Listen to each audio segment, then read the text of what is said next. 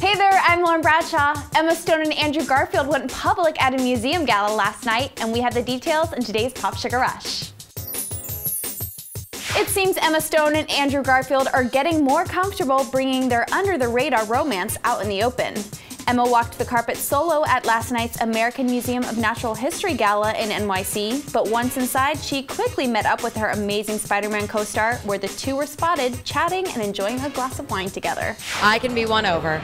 I'm not that. I'm not that tough. Emma and Andrew met while filming Spider-Man and reportedly began dating in June, though they've rarely been caught out together except for a few dinner dates and most recently on Halloween. They were joined at last night's party by Tina Fey, Jimmy Fallon, and several Saturday Night Live stars, including Kristen Wiig and Jason Sudeikis. Hi, I'm SNL and I'm hosting Emma Stone this week with musical guest Coldplay.